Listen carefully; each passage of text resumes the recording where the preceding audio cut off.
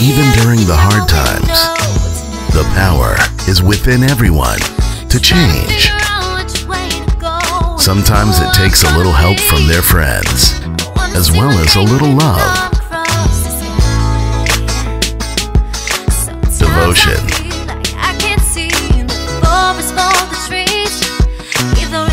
Friendship.